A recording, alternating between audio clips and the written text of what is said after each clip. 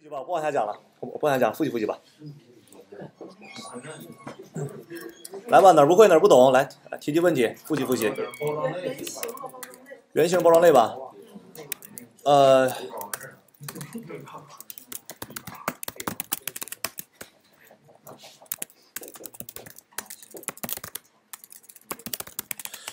咱先说圆形啊，咱先说包装类吧，先说包装类，包装类哪儿不懂？是是不太明白这生成过程是吧？是吧？不太明白生成过程啊。行，说一下啊，来听我说，比如说啊，咱们说这样，咱们值基本上分两种，一种是原始值，一种是引用值，对吧？咱说引用值，它就是一种对象，引用值里面包括数组啊、函数啊和对象，对吧？呃，等等一系列引用值，引用值它都算概括类的对象，泛泛的。咱说对象才可以有属性和方法，并且可以灵活的调用和赋值，对吧？原始值之所以它不是引用值，就是因为第一，它的存储方式它是存在站内存里面的；第二，它是不可以有这个属性和方法的，对吧？原始值和引用值两大区别哈，存储类存储地址不一样。第二呢，原始值不能有属性和方法，引用值才可以有，对吧？那现在有一个问题就是，咱们看 JavaScript 的一些原始值，它可以像引用值一样的去。拿它的属性，并且赋予一些属性，这是为什么呢？比如说现在这个 string 本来它没有，它不可能有 length 这个属性，对吧？它怎么能有这个 length 属性呢？然而它就好使。比如现在咱们看这个 length 属性，查看 length 属性，它就好使。哎，这是一个问题哈，这是一个问题。通过这个问题，咱们才讲出那个知识点呢，是到底是怎么样实现这个过程？你看它是不是三？比如现在哈，本来你这个 string 你。你是个原始值，你怎么可能有属性呢？对吧？你看这它是不是一个原始值的 string？对吧？有 a、b、c，对吧？原始值怎么可能有属性？怎么可以有属性呢？这个 JavaScript 内部给它了一个新的机制，这个机制呢叫做包装类。原始值确实是没有属性的，但是你要想通过原始值访问属性的话，它会让你这个语法去好使。怎么好使的呢？就是你当你原始值调用这个属性的话，它会。对应的看原始是什么类型的，是不是数组类？呃，是是这个字符串类型的。只要是你字符串类型的这个原始值的话，它就会 new 一个 string。这个 new string 是一个字符串对象的构造函数，能懂意思吧？字符串先有个原始值，也有一个引用值，它会 new string 构造出一个字符串对象来，然后呢，把字符串对象的内容填成 a b c，就是和你那个原来保持一致，能懂意思吧？保持一致。构建出这样一个对象来之后，它会看啊，你这块对原始值进行进行了一个什么样的操作？是不是点 less 操作？那它就会相应的对这个它新构造出的对象进行一个点 length 操作，并且把这个结果给你返回到这里，懂我意思吧？并且把这个结果给你返回到这里。实际上你写的是 string 点 length，其实执行的时候它是 new string 点 length，懂我意思吧？其实执行的时候是这一步，能不能懂？这个过程，这个隐式包装的过程就叫做包装类。为什么管它叫包装类呢？你看哈，这个 new string 是不是相当于把这个 str 给包裹起来了？就原来你是个原始值，我给你包成一个对象了，对吧？这样的一个过程，咱们就管它叫做包装类，名就这么起，你就记住就完事儿了啊。包装类，行了，这是七一七二呢。比如说现在我来一个数字，什么都行哈，其实。什么什么这个玻璃类型也行，数字我给它加一个属性，这个属性叫做 a b c 等于 a b c。正常原始值能有属性吗？不可能，对吧？那你强硬的去操作了怎么办？系统不会报错，它会在内部帮你缓和一步。怎么缓和的呢？它一看，哎呀，你这么调用，那你不能调用啊，那我帮帮你吧。它会 new 一个 number，因为它识别出你 number 类型，对吧？new 一个 number，把你这个 name 值放进去，然后它生成一个数字对象了，对吧？这个数字对象，对象是可以有属性方法，对吧？对象的属性方法，那就给它加上 a b c 等于一个 a b c，然后执行完这步之后，刚才 new 的 number 没等到下一步呢就被销毁了，因为你这步操作它帮你实现了，对吧？它没必要帮你保留这个值，然后就销毁了，懂我意思吧？销毁了之后，你下一步再想访问那么点 a b c 的时候会怎么样？他就看呀，不长记性，你又访问这个，对吧？你又访问怎么办？我不能让你操作报错呀，那我就再帮你一步吧，再 new 一个 number。把这个 num 值放进去，而这个 number 和这个 new number 是不是两个独立的对象？虽然说长得一样，是不是两个独立的？彼此独立的吧？彼此独立的对象，那么你现在再访问它的 a b c，跟上面那个没有一毛钱关系，它是没有的，对吧？因为上面那被销毁了吧？所以现在访问出的应该结果是 undefined，所以你看到这个结果就是 undefined 吧？就是他会把这步操作的结果给你放到。这步操作的结果里面，能懂我意思吧？这是一个包装类的整体过程，这块能不能懂？这就是包装类，懂了吗？包装类还哪块不懂？我再讲讲。小陈哥哪块我不明白？哪块我想不通？来，还有了吗？包装类，其他地方？啊啊啊！对，构造对象。哎，什么呀？什么什么什么什么？这个 new number 是一个整体，从语法上来讲是整体，但是这个语法执行完了之后，是不是会返回一个东西啊？返回个对象出来？哎呀，就是一样的。其实，were 一个 num 等于一个 new。我之所以那么写，就是让这个代码显得多元化一点，让你看得清楚一点，就是以后能识别出更高级语法哈。num 点 a b c 这俩是一样的，因为这个 new number 它是不是会返回一个值？它会先执行返回一个值吧，返回一个值之后，是不是把它把这个返回值保存到这个 name 里了？如果我不想保存到 name 里，我就想当场就用了，是不是直接点也行？对吧？我当场就想用了，直接点是不行，因为它会在原地返回一个对象出来，对吧？在原地返回对象出来，相当于原地返回对象点呗，是不是这意思？对吧？啊，OK，其他问题还有吗？其他问题还有吗？没了，没了哈，讲原型。原型哪不懂啊？原型哪块不太懂，不太明白？比如说我写个原型吧，这个呃 function person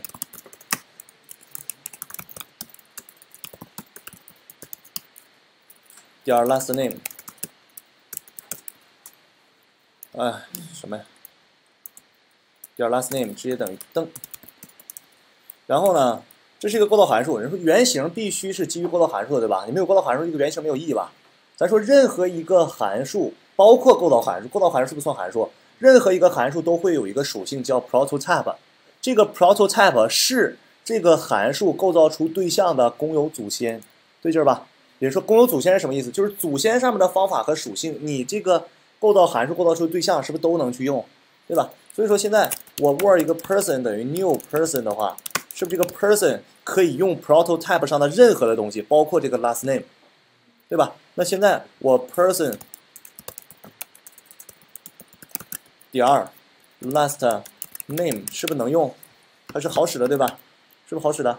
为什么好使？因为在 new 的过程中，是不是这里面隐式的三步？第一步先 word 一个 this 等于个这个东西，然后 this 里面其实不是完全空的吧？是不是有一个 proto 属性？proto 属性指向的是这个构造函数的原型吧？然后你去访问这个对象的属性的时候，他先看自己有没有。如果自己没有，他是不是会沿着他的 proto 找到 proto 上面那个对象，上那个对象上面，也就是说 person 的 prototype 上这个上面去找有没有你想要的属性吧，对吧？如果这个对象上面还没有的话，他会沿着这个对象的 proto 指向它的原型上，它的原型上去找有没有这个属性。这样的话，是不是形成一个圆形链的访问顺序？对劲吧？圆形链的访问顺序啊。嗯，哪块不明白，针对一点呗，要不这块的知识点太多了。哪不懂？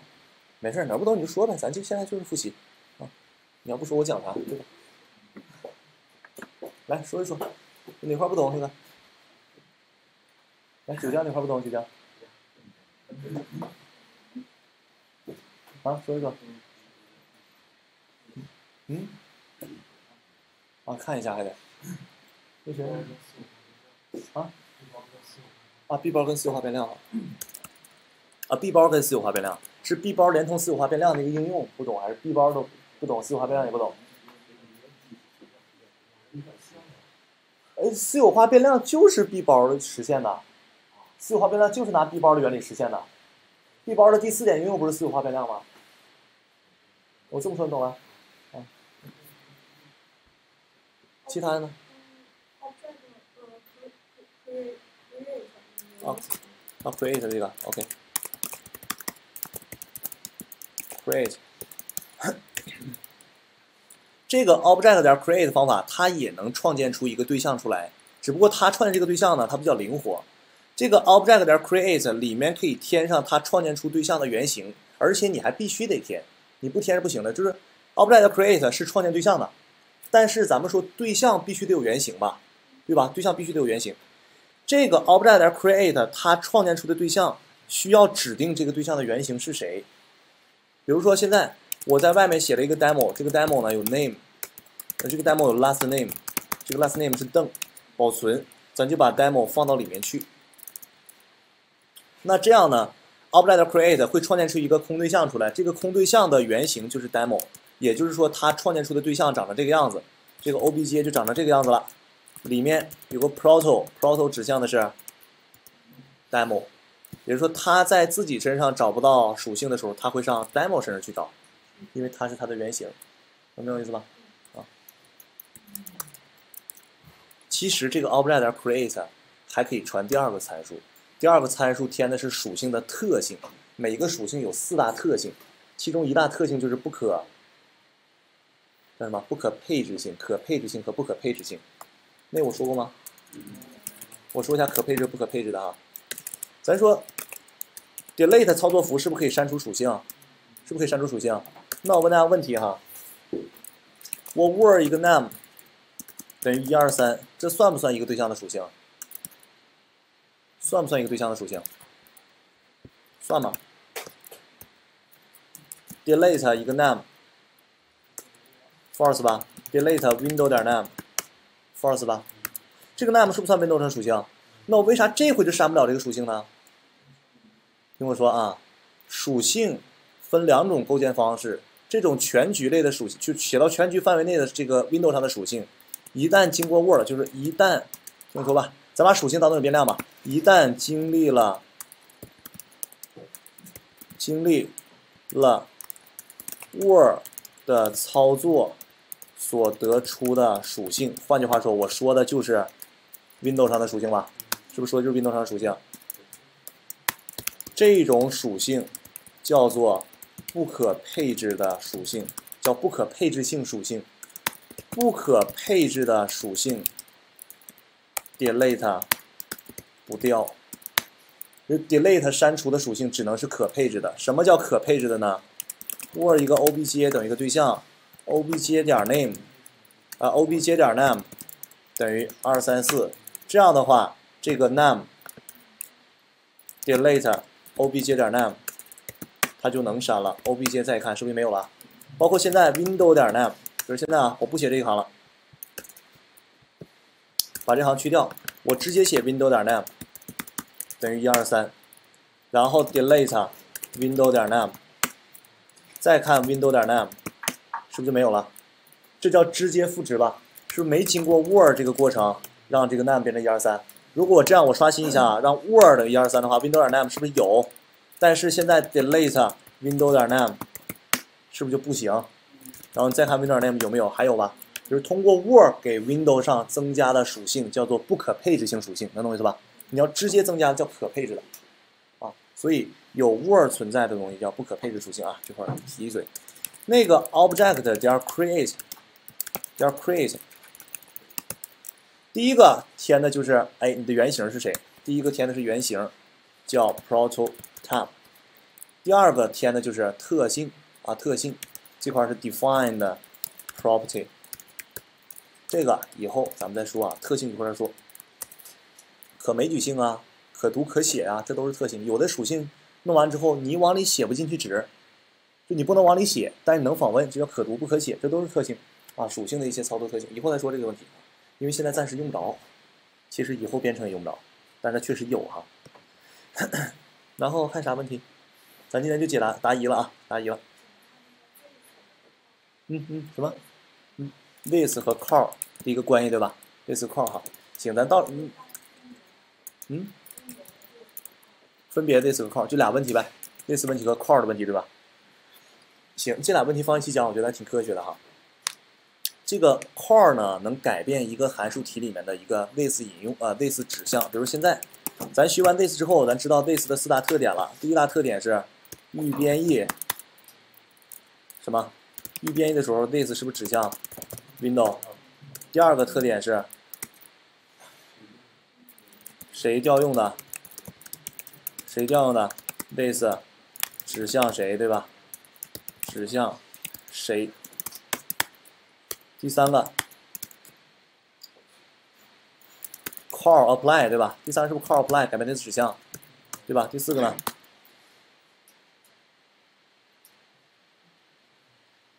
来看看吧。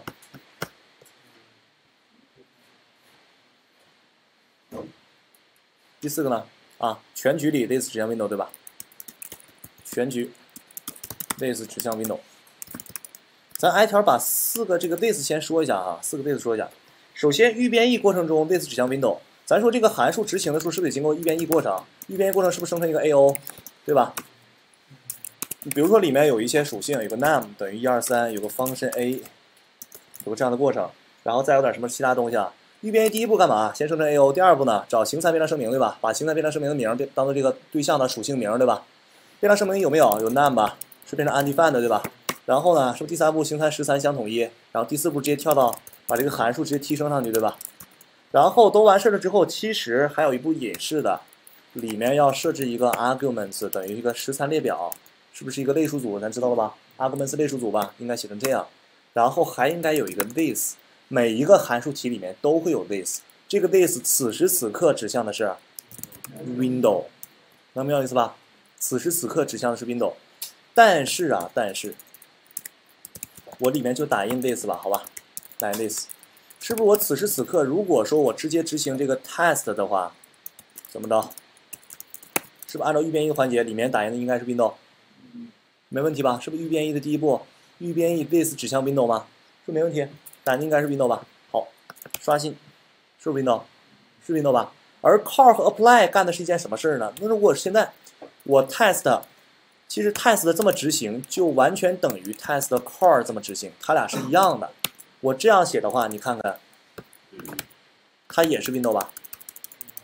其实 test 的执行在内部就会转换成 test 点 core 执行，懂我意思吧？test 点 core 这么来执行，而 core 呢，如果咱们手动的可以往里面传值的话，咱们手动的往里传一个值的话，第一个值就会作为这个函数执行时的一个 this 环境。换句话说，它就会把函数执行时的 this 改变了。如果是现在我往里传一个参数，传个对象，这个对象有个 name 叫邓，保存的话，是不是这个对象就会被放到哪里？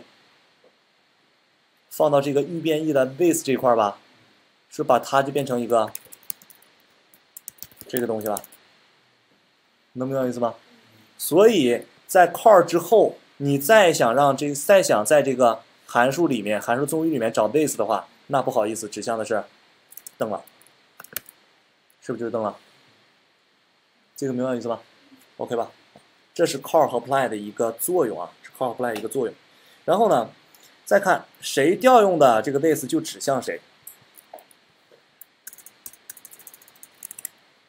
写一个小函数。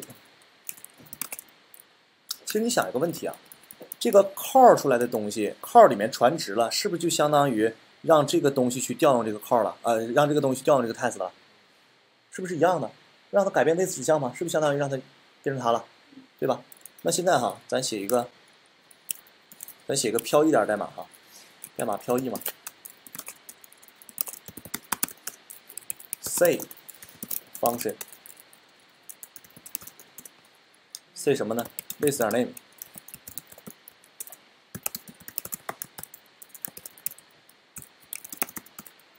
幺幺幺啊，行，OK。幺幺幺，别的了，window 吧。这个是 obj。来看这儿啊，同学们，我 obj 点 C 执行，是不是 obj 调用 C？OBJ 调用 c c 里面的 this 应该是谁？obj 吧？那打印 this 点 name 应该是 obj 对，没问题对吧？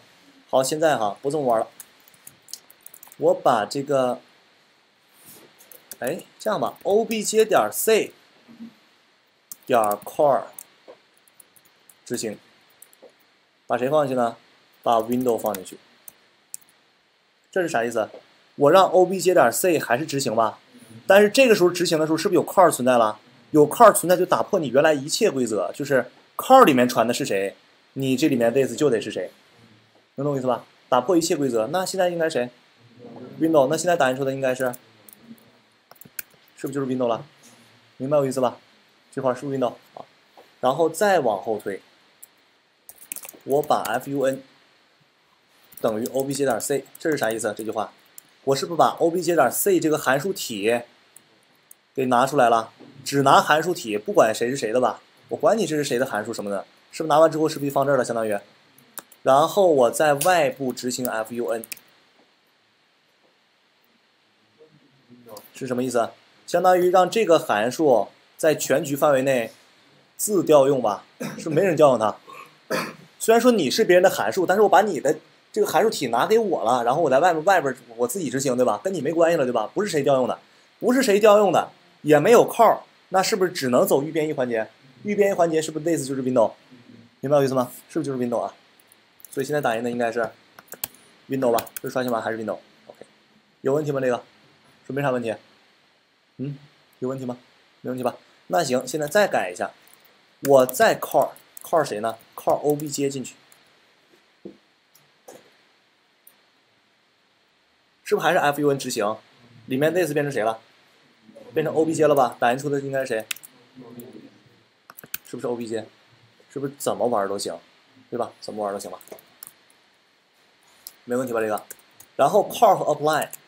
Power Apply 最重要的一个问题就是解决这样的一个函数借用的问题。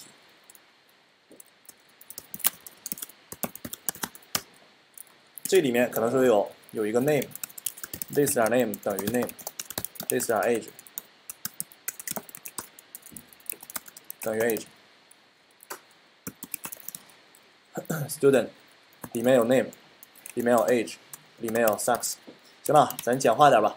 现在我想用 person 的方法来实现我 student 里面的构造，我想怎么办？首先 student 我要构造出一个 student，等于一个 new new student new student 的名字邓，不对哈，你邓哥没上过去。好，啊，开什么玩笑对吧？开什么玩笑？啊？killing me 哈，来吧，里面咋写？当然了，咱们可以义无反顾的这么写，对吧？就是麻烦呗，是不是义无反顾的可以这么写？没问题吧？构造出来是不是这个这个学生对象里面有名字、age、sex 对吧？什么都有。但是我想简化一下，既然说前辈们都已经把这个构造函数已经抽象完了，我想用人家的函数实现自己的功能，咋着呢？听我说，我想用人家的函数实现什么功能？实现给我自己的 this 去加上这些属性吧，是不是自己的 this？一旦你 new 了之后，有没有自己的 this？是有的吧？是不是有的？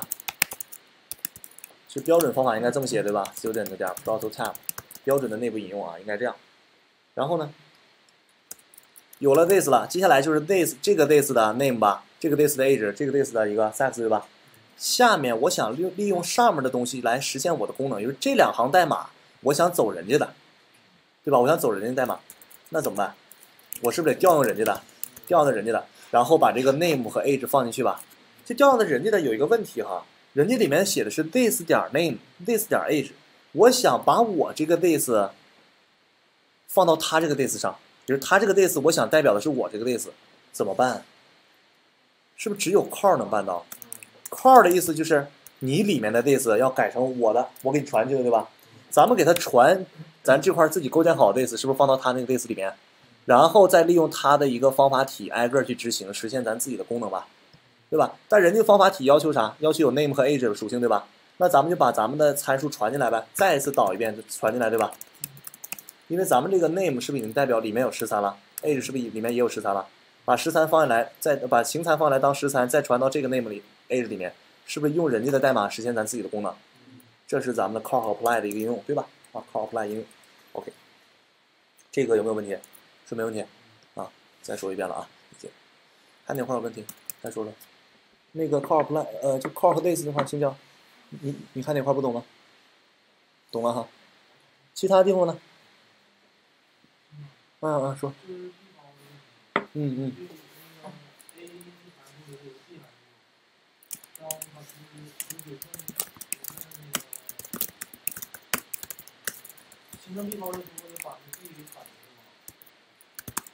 对，把 b 返回去。其实 b 包我说一下，b 包一个表象的一个问题，就是一个函数套着另一个函数，你把被嵌套那个函数给保存到套它函数的外部。也说 a 套着 b，你把 b 给它弄出 a 里面，这就必然形成 b 包。能懂我意思吧？你把 B 弄出 A 里面，不管你用什么方法弄出去，它一定形成 B 包，懂我意思吧？它一定形成闭包。比如说哈，我这个还有什么方法能弄出来呀？好多种啊！我这是不是一个对象？我让对象点儿 fun 等于 b，这函数出没出去？出去了吧？是不是直接到这里来了？这个 a 执行完了之后，是不是这个函数在外面活得好好的呢？那这样的话，这个 b 函数就会拿到你 a 的执行期上下文，死死不放着吧？是不是这就形成 b 包了？自此之后，是不是 b 照样能访问你 a 里面东西？比如说这里面，比如说这里面 a 里面有一个 a a 变量等于一二三，b 里面不干别的就访问你，对吧？然后接下来我们看它执行完了之后，当这个 a 函数执行完了之后，是不是 a 就被销毁了？被销毁了不要紧，再看里面 fun 能执行吧？能执行是不是能打印一二三？因为这个 b 被保存到了 obj 上吧？对吧？未必非得是 return 嘛？是未必非得 return，对吧？这能听懂吗？只要被保存到外部就行。嗯。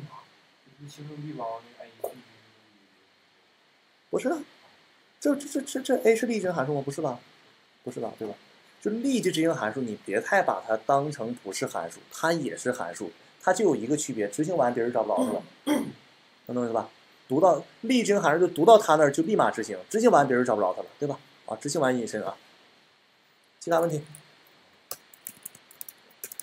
其他问题？啊啊，说。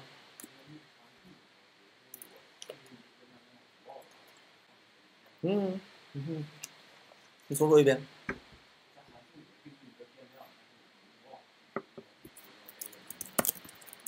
嗯，imply global 是吧？对。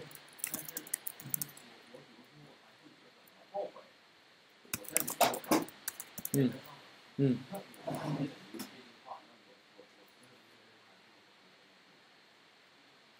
预编译啊。预编译啊。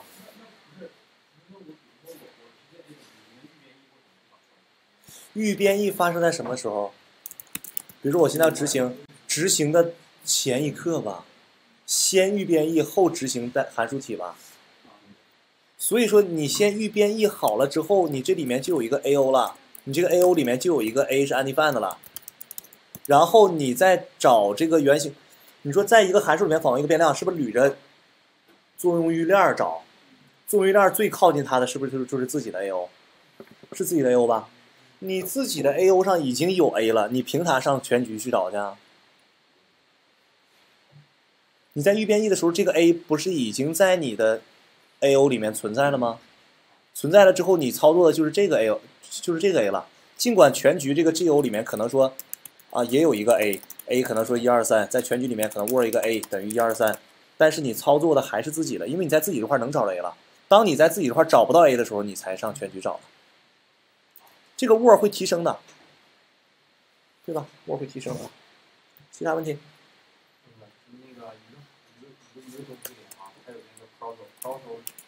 啥东西啊？啊。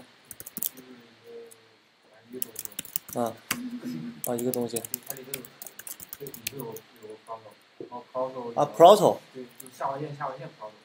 啊。啊，你是一个对象呗？一个对象里面有 proto，啊。然后它里头放的是这个对象的那个原型。原型。嗯。这个原型是一个什么型？它是地址。啊，它是地址。它是。全都都是地址。哦，这样点 proto，太好，它也是也是一个。这这这就是一个，你可以把它理解成一个变量，属性不就是变量吗？属性里面存的引用值不存的都是引用值地址吗？对吧？存的不都是引用值地址吗？因为你想啊，它存的站内存里面放的不都是地址吗？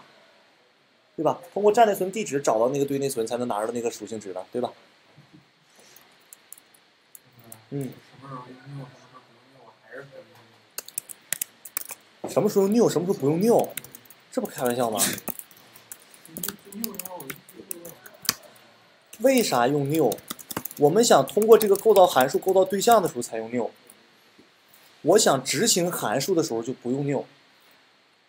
构造函数干嘛的？构造对象的吧？咱俩通过构造函数是批量生产对象，每一次生产对象的时候，你都得 new 一下，不 new 的话，怎么能生产出对象呢？生产不出来。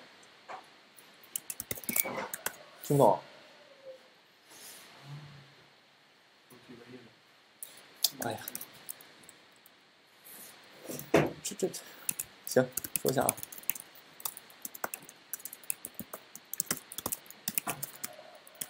我这构造函数干嘛的？是不是构造对象的？这是 person 是不是构造函数？对吧？它是为了构造，它是为了构造对象的。那么怎么来构造对象？构造对象有个规则，你必须得是 new 加上构造函数的执行，才能够构造对象出来。因为有了 new 操作符之后，这个构造函数会发生三步隐式的变化，其实是两步。第一步是 word 一个 this，最后一步是 return 一个 this。有了 new 之后，new 加函数执行才能出现这两步。有了这两步之后，这个对象才能被正式的构造出来，能懂我意思吧？而正常你执行一个 person 的话，它只会走预编译，就 new 也会走预编译哈。这个你直接写这个的时候不加 new 的时候，它就会直接，它不会有这两步，就直接这么走了。换句话说，这个时候的 this 就是指向的是 window 吧，对吧？所以你你正常你在自己封装一个函数，这个函数只代表一个功能的时候，那你跟 new 都没有关系。就是一个 test 的，它就实现自己的功能的时候，你就直接执行这个 test 呗，因为你想执行函数里面的每一句，对吧？而你要定义一个构造函数，你想通过这个构造函数来构造对象的话，你就必须得 new 吧，你不 new 它生成不了对象啊，new 只是为了生成对象的，懂我意思吧？啊，红宇，啊，来，其他问题呢？来，灯红蓝旭，还能想出来啥问题吗？啊啊啊！B 包形成私有化变量。好，首先哈，首先，比如说咱们现在一个 person，这个 person 啊是个构造函数，咱们想通过这个 person 来构造对象出来。就是啊，咱们想通过这个东西，通过这个 person 构造一个啊对象出来。然后呢，这个对象啊。它有一些可以被外部访问的一些属性，啊，可以被外部访问的一些属性，我就不多写了哈。然后呢，还有一些不能被外部访问的一些属性，比如说哈，咱给这个来个 money，这个 money 呢可能是有一百对吧？啊，一百。然后呢，呃，他可能说有几个方法啊，有几个方法。第一个方法呢叫 earn，啊，就 make money 吧。第一个方法 make money。make money 之后，这个 money 加加，对吧？然后呢，消费咋说来着？那不消费者吗？assume 是消费者啊。花怎么说？花了，哎，offer 或者 pay 对吧？pay 吧，offer 或者 offer 也行哈。来，money 减减。来听我说啊，就是有一些有一些时候吧，咱们构造一个对象啊，这个对象并不是说所有的属性和方法都都想被外部去访问，因为有的时候你要知道一点，你构造出的对象你要直接传给别人去用，所以可能别人并不知道你对象里面有什么东西，对吧？所以有的时候你为了保证这个对象的一些属性的一个私有性，说这个属性是非常关键的，我不想让你改，因为你不了解的规则，你改之后可能说整个对象崩溃了，能懂意思吧？我不想让你改，我只给你留了一些操作这些属性，或者说。我只给你留了一些能访问这个对象的一些基本的属性和基本的方法的一些接口，什么意思呢？就是我只只让你这个 this 点 name 等于 name，只让你这个就是这是 name make money 和 offer，这都是你能访问的吧？这些是一些能给你提供基本数据的一些功能，对吧？我只把这些提供基本数据的功能给你了，而那些内部真正枢纽化的一个就是而真正内部产生运作的一个枢纽的一个变量，我不给你。比如说这个 money 是不是很多方法都是围绕它转的？这个 money 我就是不给你显示出来，但是你就是能用，能懂意思吧？我就是不让不想让你直接改这个 money，你只能通过 make money 和 offer 的方式来改。那这种属性就叫做私有性、私有化属性。这种属性有啥好处呢？好处就是说，我不想让你就有一些东西是枢纽化的，不想让你改，因为你不了解。做这个，咱们来实现这样一个私有化属性的一个基础的理论，就是通过 B 包的形式。怎么样通过 B 包呢？我 new 一个 person 是不是相当于在这块儿 word 一个 this 了？有一个空的吧，就相当于一个空的，行吗？然后这个 this 上面是不是有一些属性叫 make make money 是一个 function 对吧？然后这块有一个 offer，是不是也是 function？OK 哈，然后这样的话，最后是不是会把这个 this 给你返回？把这个 this 返回，是不是把这个对象返回了？而对象上面是不是打包两个方法？而这两个方法是不是跟着这个对象一起被返回到了外部？那这两个方法就会和之前 person 产生的执行上下文产生一个公有的 B 包吧？是不是二对一的 B 包？就这两个方法能操作的 person 的 A.O 是不是一个人？那这样的话，他们操作的是不是都是都是这个 money，对吧？这个 money 就是 person 的 A.O 里面的 money，而 person 的 A.O 被拴到了 make money 和 offer 上吧？是不是你看不见摸不着，真实存在的？你一旦访问这个 make money，一旦你通过 make money 里面去访问一个变量的话，它会走自己的综综艺链吧？自己综艺链先找自己的，没有的话是不是找 person 的 A.O？因为它们之间是不是形成链了？这样的话形成了一个私有化属性吧？就是这个 money 保存到了 person 里面，看不见摸不着，但真实存在，对吧？真实存在，而且外部是不可以访问。你外部你很难说 person，你很难说 person 点 money 说没有，因为它是在它方法，它是在 person 方法的综艺链里吧？是不是在这个 make money 的综艺链里？这个 make money 是 person 的方法，对吧？所以你想通过 person 来访问这个属性，访问不到，但是 person 确实可以操作它。它就这个属性，这个变量就作为 person 的一个私有化变量来存在，能懂意思吧？就是一个概念，就是概念，就简单的说，它形成 B 包的，能听懂？能听懂吧？B 包的一个应用就是，哎，如果有一天你你自己编写构造函数，你构造函数想用一些私有化的变量去当做中转、当做中枢的话，你这些变量又不想让别人直接访问到，那你就把它放到 B 包里好了，能懂我意思吧？就放到 B 包里好了，这个能听懂不？没问题吧？包括咱那时候讲这个 inherit 的时候，是不是讲了一个这个例行函数？例行函数是不是里面放了一个 var f function，然后呢 return 的一个 function，return 这个 function 里面有两个，一个是 target，一个是 origin，对吧？一个是 origin，然后这里面是不是写了点代码？叫叫什么？叫 f 点 prototype 等于。origin 和 target 我要大写，等于 origin 点 prototype，然后然后啥？target 点 prototype 等于 new f 是不是完事了？那两行不写了啊。把这个保存出来之后，它就是最后的一个显示的结果。其实最后它应该是这样的。它应该把它代替了吧，对吧？是不是应该这样了？最后执行完是不是应该这样？因为例行函数会返回东西嘛，返回到那儿，对吧？但是说返回到之后，这个 f 还能被调用吗？是不是能？因为这作为内部函数，是不是保存了例行函数的执行下文，会把这个 f 保存出来，对吧？是不是能调用它？而这个 f 它只是作为一个中间的过渡的一个东西，它并没有什么实际性的意义吧？所以你没必要让用户是不是看到它？没必要让使用这个 function 的一个人去看到这个 f 吧？也没必要写到这里面，对吧？所以它作为一个私有化变量也是合情合理的，对吧？能懂我说意思吧？啊，还有其他问题吗？听懂吗，学生？啊，还有其他问题吗？嗯。啊啊啊！我知道你问题了。空数组加上一个空串等于空串对吧？数组加上一等于一，数组加上二。等于二，空数组就是 number 里面放空数组，看到啥？是不是零？是不是零？对吧？然后，哎，它是这样的哈，比如说空数组乘以二，空数组减一吧，是不是得负一？空数组减一能实现的话，说明是不是也是实现 number 了？number 空数组了吧？其实这一点咱没必要那么了解哈。引用值不用参与隐式类型转换，因为谁没事闲的，你让一个对象乘二啊，让数组乘二是没必要。但是引用值能不能进行类型转换？能进行，是不是？当时我讲类型转换的时候，我根本就没带引用值，就没带引用值，对吧？因为没必要嘛，太没必要了。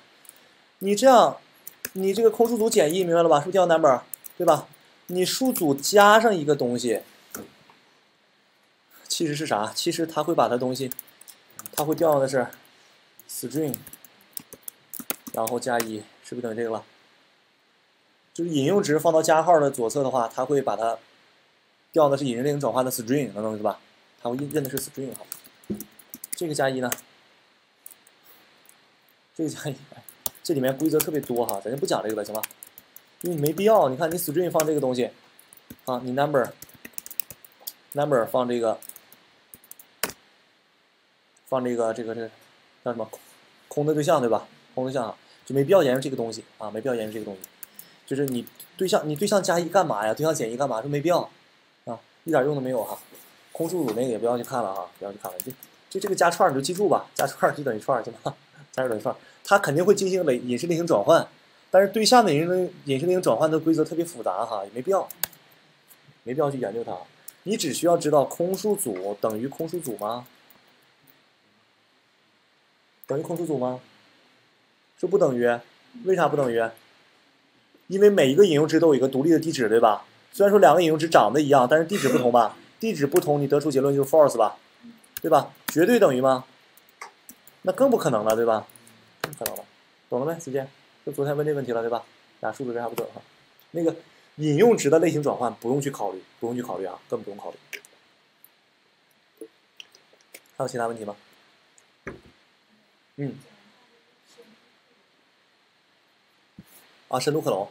啊，好。OK 啊。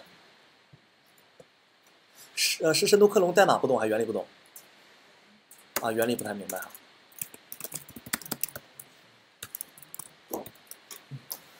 来说一下啊，深度克隆，呃，浅度克隆咱能明白吧？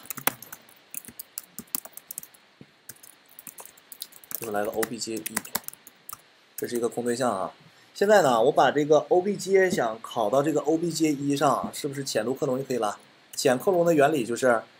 把 obj 的属性全部都便利一遍，然后挨个的放到 obj 一上，对吧？怎么来办呢？我在一个 for in 循环 or 一个 property in obj，这样的话，我是不是能把每一次的 obj 的属性名拿出来？有了属性名之后，我让 obj 一的属性名的值，就 obj 一的属性名是代表 obj 的属性值了，要赋值了吧？就是给 obj 一的对应属性赋上 obj 的属性，是不是这样就叫浅克隆了？就是所有的东西全是把我的值给你，把我的值给你，都都是这么去拷贝吧。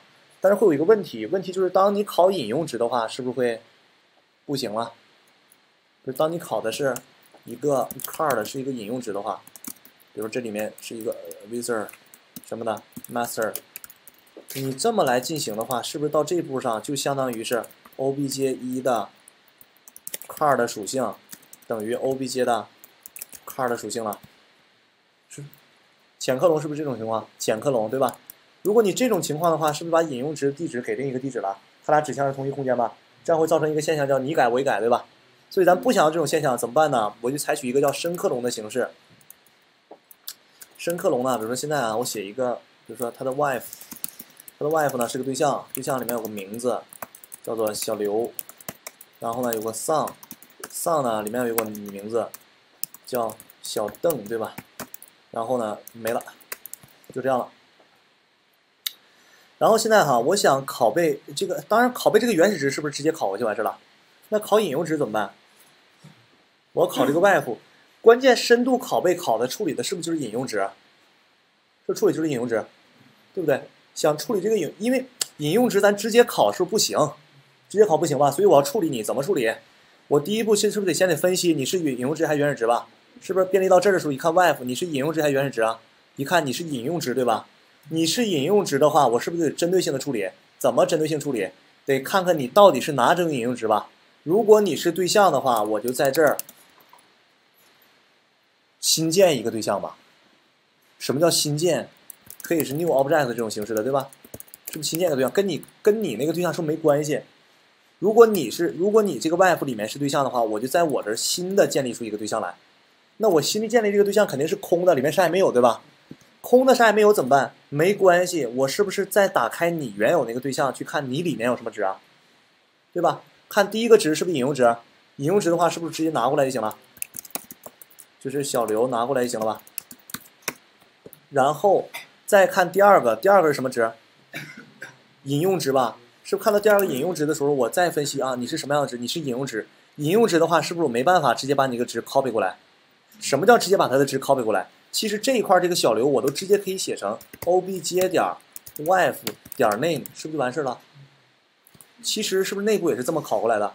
这叫直接拷过来吧？因为是原始值，把你的值拿过来之后是做一个备份过来的，并不是说一个值，对吧？并不是说咱指向同一个空间是备份的。但是如果这个 sum 这块我也这么写的话，obj 点 wife 点 sum 的话，是不是就不得了了？因为它是引用值吧，对吧？因为它是引用值吧？啊，新疆，这块能理解吗？能理解吧？引用值你过来的话，是不是过来的是地址啊？这样的话，我的 sum 和你的 sum 是不是指向同一空间了？这样不行吧？所以到这个 sum 的时候一分析啊，好，你是引用值的话，那我不能那么考了，我怎么办？我直接在这儿新建对象吧。新建对象之后，是不是再分析你原来的 sum 里面有啥东西？是不是挨个去拿你的值？最后拿的是不是 obj 点 name 点 sum 点 name？是不是该这样？这个值 name 等于啥？等于 obj 点 name 吧？是不是最后构建完的是一个这样的东西？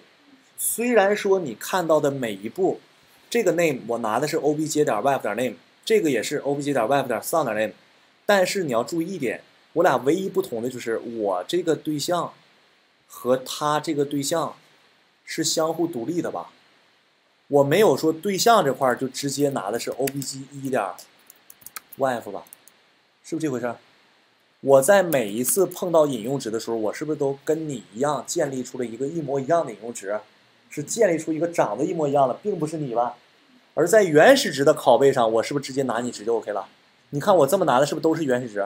而引用值是不是都是我自己建立的？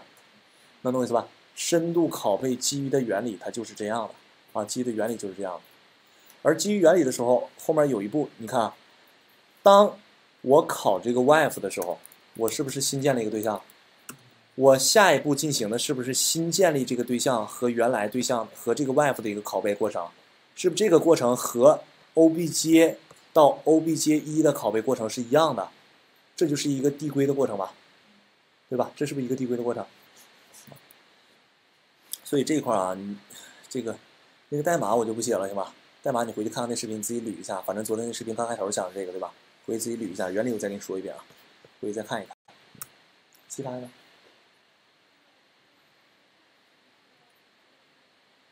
Undefined 和 none 的隐式类型转换，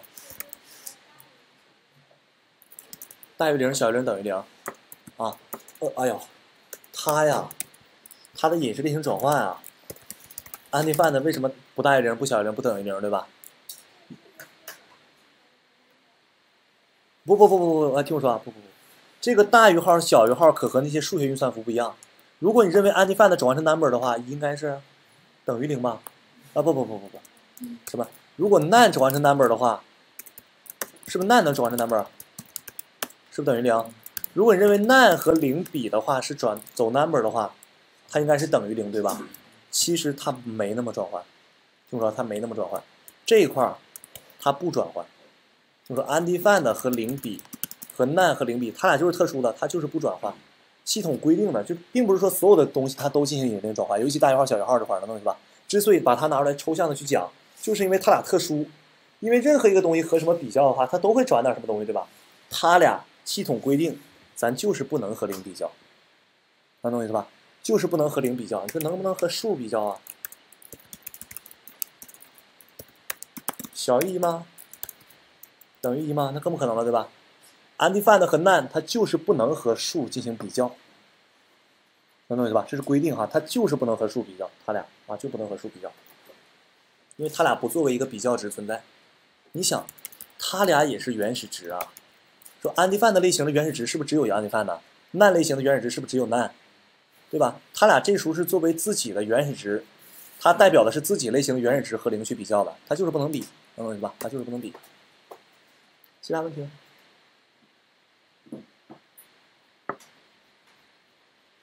有没有问题了？其他问题有没有了？嗯，一边一丝不，哎我天，好，啊九江是巴西同学对吧？对，巴西可能讲太久远了，再说一下啊。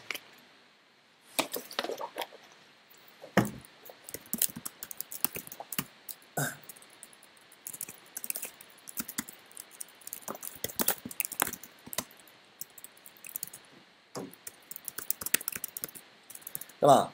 咱说啊，咱说 JavaScript 执行分为三步，第一步先是语先是语法分析或者语分析，对吧？语法分析、语分析的意思是先先通篇扫描全局，看看有没有什么低级语法错误，是不是多写括号少写括号了，对吧？写没写汉字什么的，这叫这叫语法分析。然后之后是预编译，然后最后是执行嘛？是不是先预编译后执行？比如说在函数执行的前一刻先发生预编译，对吧？预编译有四步，第一步先生成一个 A/O 对象，这个 A/O 对象叫 Activation Object，翻译过来叫执行期上下文，对吧？执行上下文哈。然后呢，这个执行上下文。里面存储了由于这个函数产生的一系列东西哈。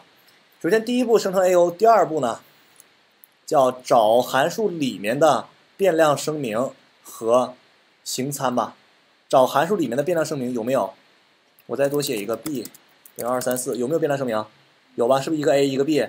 把函数的变量把函数里面的变量声明的名作为这个 A/O 对象的属性名，然后值呢让它变成 undefined，是不是 b 也过来了？让它变成 undefined 吧。然后第二步还是说还有一个找函数声明，这不是，第二步是找变量声明和形参吧？形参是不是也相当于一个变量声明，对吧？由于形参这个名变量声明已经有了，是不是就不用多写了？因为对象里面也不可能有多个属性是一样的，对吧？不可能一样。然后第三步干嘛？第三步是形参和实参相统一吧？是把这个实参赋到这个 A 里面去，让它变成一。然后第四步是不是通篇找函数声明，然后把函数声明的名作为这个。A/O 对象的属性名有没有这个属性名？有 A 吧。然后这时候的值呢，要是这个函数体，是不是把原来这个一就覆盖了？覆盖了函数体。然后这样一个 A/O 就已经构建完毕了。这个 A/O 干嘛的呢？然后接下来就是函数的执行吧。函数的执行过程中所访问的一切变量，所修改的一切变量打哪里来？打 A/O 里面来。所以现在函数执行的第一步是不是一个 A 等于一二三？就不用看 Word 了吧？Word 已经提升了，对吧？a 等于一二三的话，这个 a 它是不是得上它的综艺链里面去找？综艺链里面最顶端是不是就是 a/o，对吧？上里面找 a，a 现在是啥？是函数吧？那不好意思，把你变了，变成一二三了。然后再找 b 等于二三四，是不 b 现在 undefined，给它赋成二三四，然后就完事了。这是一个预编译的整体流程，懂我意思吗？啊，能听懂了不？啊，当复习了哈。哪块不懂就讲。啊，赋予函数体这块，现在懂了吗？啊，OK 啊，行。还有啥不明白的？有了吗？还？没啥了是吧？看几点了？是吧？这才十二点半呢，都。还有没有了？没的话，咱看两道题行吧？看两道题啊。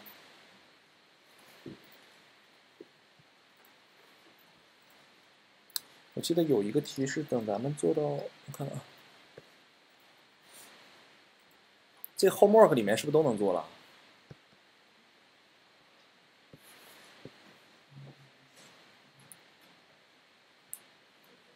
这个是不是讲了？讲没问题吧？这个啊，没讲吗？没讲，拿出来说一下。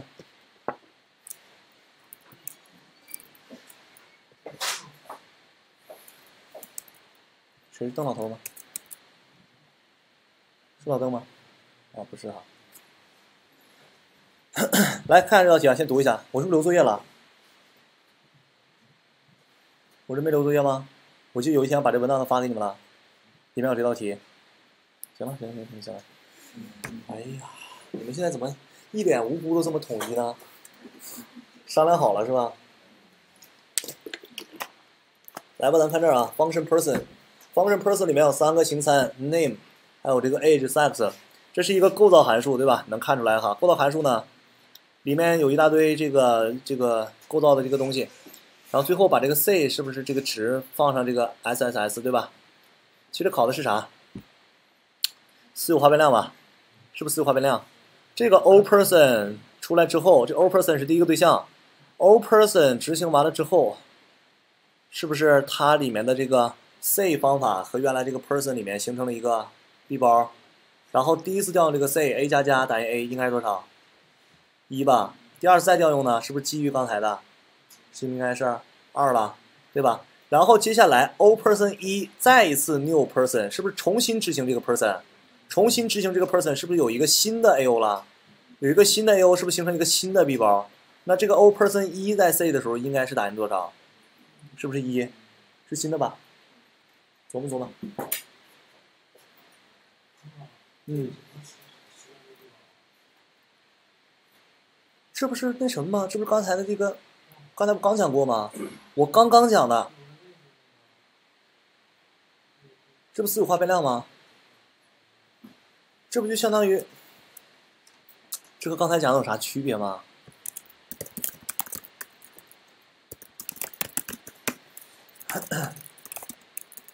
刚才我是不是写的 money 一百对吧？然后我说 this 点 make money make money 等于一个 function，是不是这样？然后我说这里面的 money 可以去访问对吧？你可以访问是不是可以修改啊？money 加加，最后如果你 new 这个 person 的话，你 new 这个 person 的话。它是不是会 return 的返回这个 this，会隐式的返回这个 this，一开始 word 一个 this，对吧？然后进行修改，最后 return 这个 this，是不是应该这样？把这个 this return 出来之后，这个 this 上面不是有这个方法吗？这个方法是不是被一起保存到了外部？保存到外部，这个方法是不是会保存着 person 产生的 AO，就和这个 money 形成 B 包了吧？对吧？这个这块是不是应该这样？那下面这块不一样吗？这个 A 不和那个 money 一样的吗？有啥区别吗？就这个和那一样的，只不过这个函数是这么写的，先写到这儿，再给它赋赋值给这个 this 上，这不一样的吗？你现在直接给它写到 this 后面有啥区别？一样的吧？就这块形成 B 包了，是 B 包，在这有吗？回去看一看这问题啊。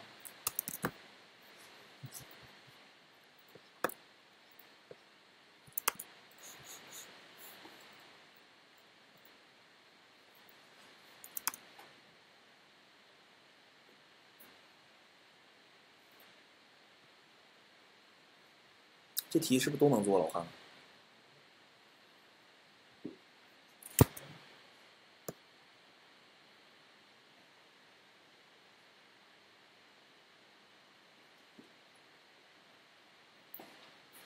看这个能看清吗？这个看不清。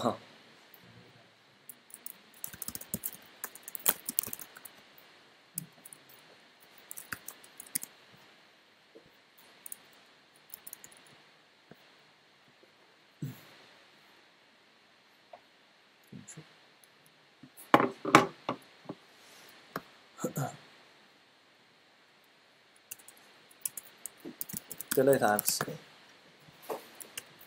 return x，OK，保存哈，然后接下来哈，接下来咱看看，这个 return x 应该是啥？那太简单了吧这题，这里面是不是 word this？word this 吧？是不是相当于形参 this 相当于 word this？能删吗这玩意儿？删不了吧？删不了是不是 x 该是啥是啥？对吧？这题是这样哈，没了，删不了，就这么简单。这个考的是 type of arguments，哎，type of arguments 应该是啥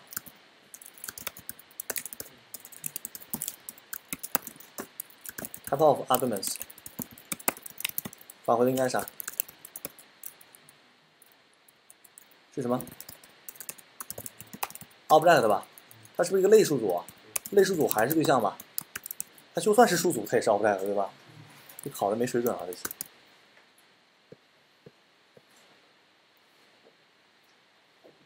啊，这题有点意思。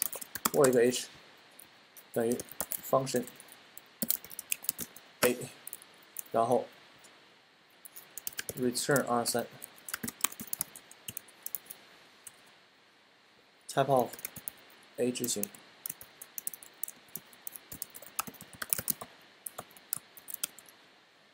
这个 a，这是不是后面是个表达式？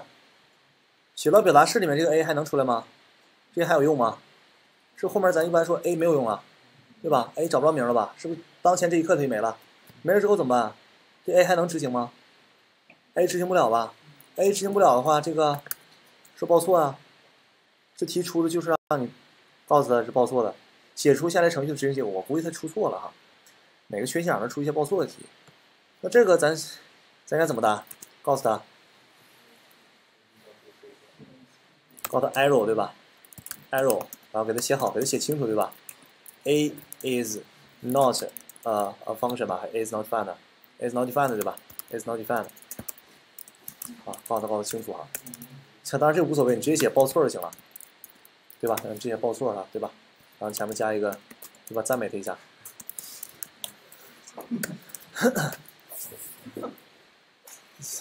这题肯定出错了，八成出错了，哪有题能出报错题？问你是不是报错？有病那是。最后随机打乱元素组顺序，然后一次性返回，OK 吧？没问题，原题吧，这都咱们讲过的哈。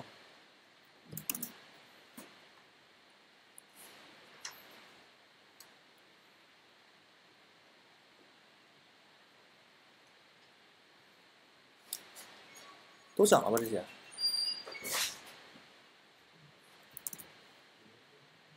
咱看看用友里面的吧。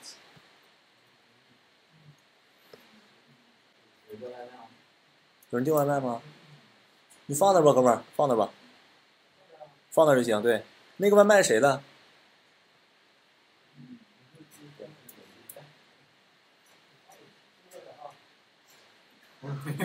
你放那吧，放那吧，放那吧，啊。这是正则。来问大家问题啊，我给你个字符串让你去重，会会去重吗？这个这题啊，选择你熟悉这种方式实现实现 JavaScript 对象的继承，写啥？写圣杯模式。听我说，圣杯模式回去我背啊，下堂课我明天过来就考，必须得会。你就是倒着写也得写出来啊，圣杯模式必须得会。那问你继承你就刚才说圣杯，问你继承说圣杯就完事儿了。这题都是白给的，换句话说背题都能背下来的啊。熟悉的方式实现这个继承，是不是写圣杯模式最好？对吧？背的背的啊。阿贾克斯没学的，trim 方法这是正则表达式的。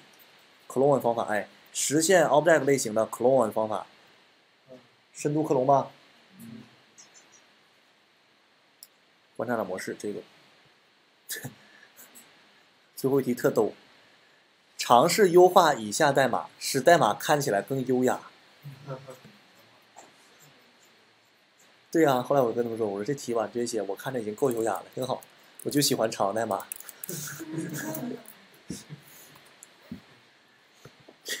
这咋能优雅点啊？Switch case，然后 break break break，他想干嘛？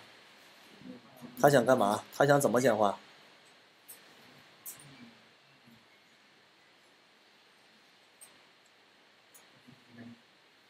第一个 Monday Tuesday Wednesday Sunday，然后最后如果不是的话，arrow，是不是有无数种简化方法呀？他的意思告诉你，我传的是几，你就给我打印出相应的是什么东西呗。你把这些东西放到数组里面行不行？数组的序号和它编排一下，是不是 OK 了？对吧？是不是数组也行？数组第一位、第二位是不是传的行？你把它放到类数组里面，用对象去标它索引位，是不是也行？是不是咋着都行？如果超出这个范围，是不是打印 arrow 就行？这题特别好简化吧？这题是不是特别好简化？难吗？这题？闭眼都能写出来吧？多简单！你把这东西把 Monday 他想干啥？想看想他干啥？传一个数是不是打印相应的天数？多简单这题！有不会同学吗？这题用写吗？Return date 多简单呐！然后你写个数组，写个数组里面。数组的数组啥呢？数组第零位，别的了。数组就是里面写 Monday，周一，然后二三四五写呗。周二，对吧？周三，行，我写仨得了。然后咋访问？他是不是传一个 date，然后你给他返回，或者你给他来一个返回值等于。a r r 中括号 data 减一，是不是完事了？它传是一二三四五七，而你数组开始的是不是零一二三四五六，对吧？减一就完事了吧？然后呢，if ret 等于等于 undefined 吧？如果它超的越界了，是不是 undefined 了？是不是它的数越界是 undefined 了？它填个八呢，是没有 undefine 是不是 return arrow 就完事了？然后 else return ret 是不是完事了？就这么简单吧？是不是很优雅？看起来对吧？啊，很优雅吧？你提出白痴题啊，弱智题。看看上面有没有优雅的题了哈。哎，还有 SEO 的问题呢。SEO 知道啥吗？搜索引擎优化吧。看 H 天猫实现布局，头尾固定，中间自适应。不想说了，恶心死了。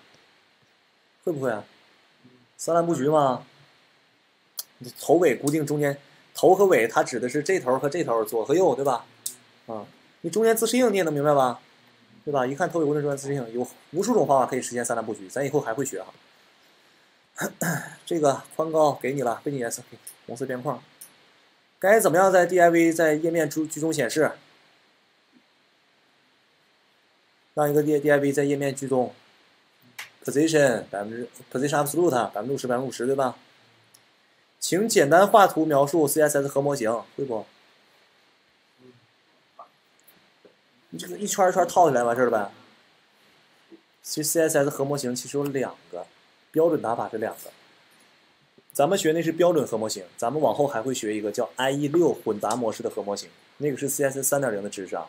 正常答应该答俩，但是他问的肯定是一个，你给答俩不显得逼格更高嘛，对吧？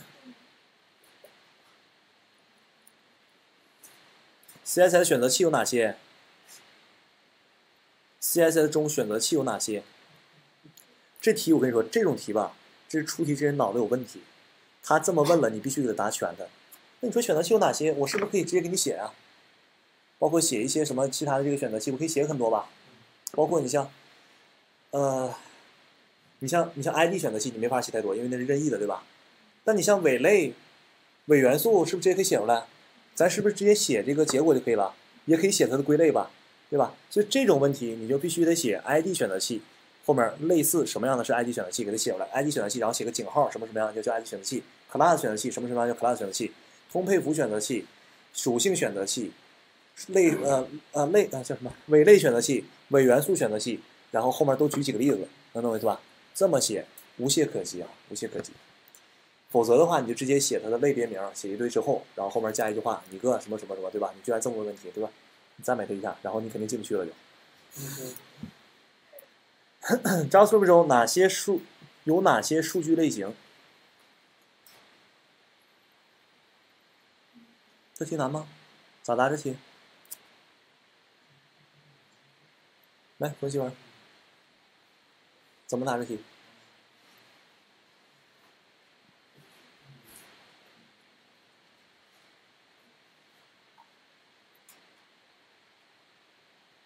来，闺蜜给给。求助一下，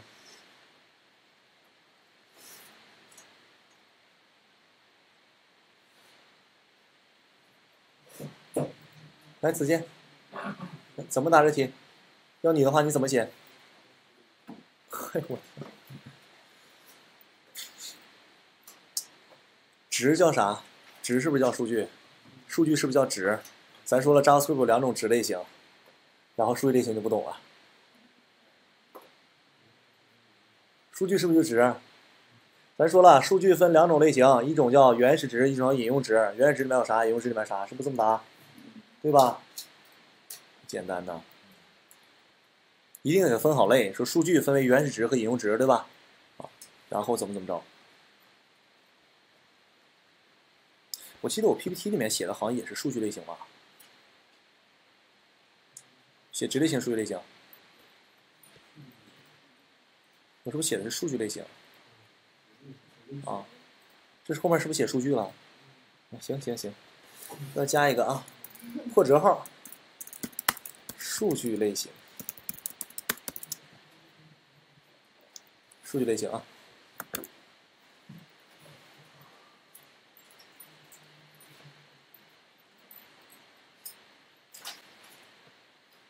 有啥咱没讲过的吗？这些？是不是都讲过了，对吧？都讲过了吧？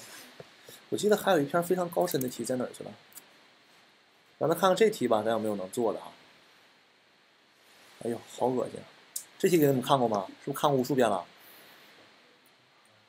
不说了？道菜不咱没讲呢？Display 值、和模型、CS3 的伪类、Position 什么区别？建立一个 div，这是后期的东西，增值表达式后期的东西。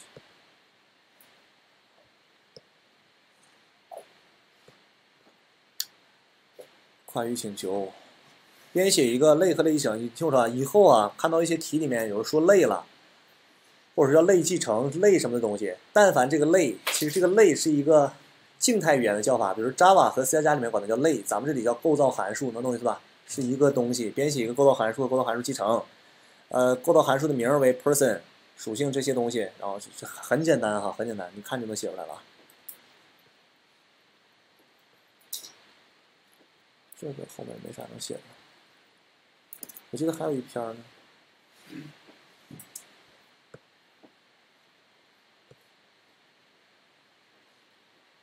哎，这个有意思哈，留作业，看一下谁聪明哈。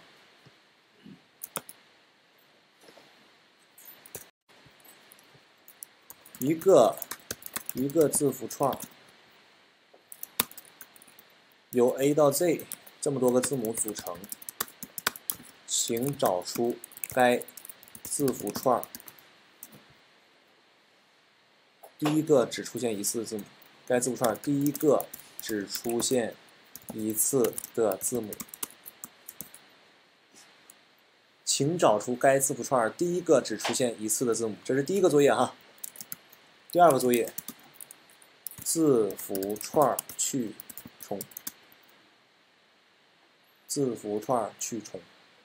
啊，字符串去重，这是俩作业，好吧？第二个作业分分钟就能写完，如果你理解了今天我讲的东西的话，哈。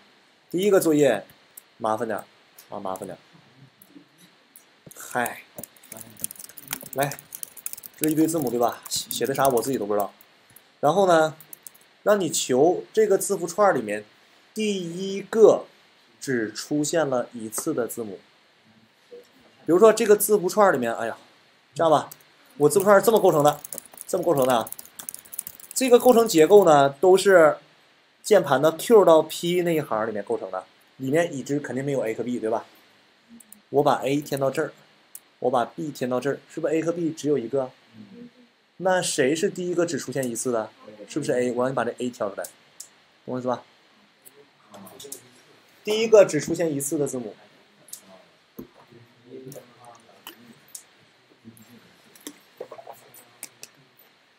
挺好玩吧？